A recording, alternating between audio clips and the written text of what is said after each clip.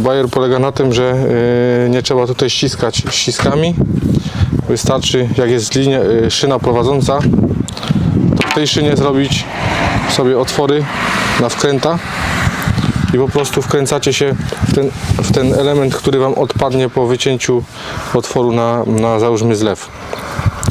Więc tu, tu robicie sobie otworki.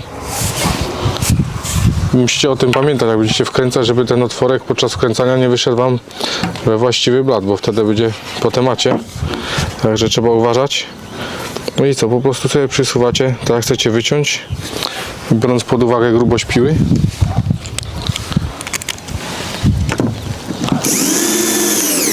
Jeden wkręt tu. I drugi tu. I to się już trzymie jak diabeł sołtysa. Można śmiało ciąć.